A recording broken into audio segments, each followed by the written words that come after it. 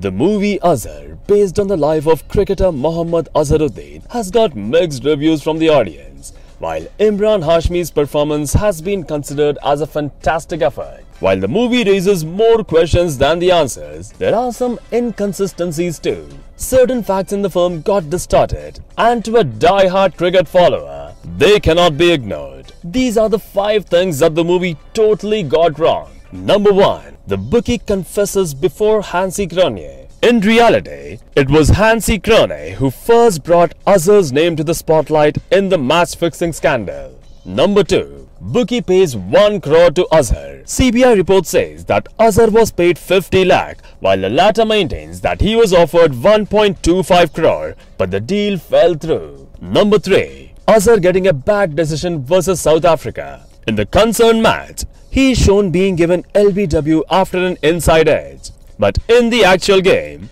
he was caught behind. Number 4.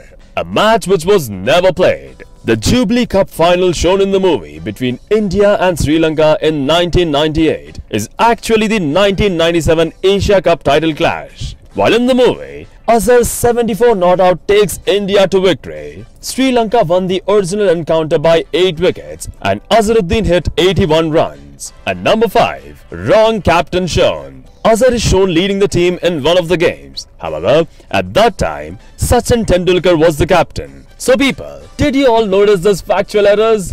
If you've seen more, then tell us in the comments below and keep watching this space as we'll be back with more updates.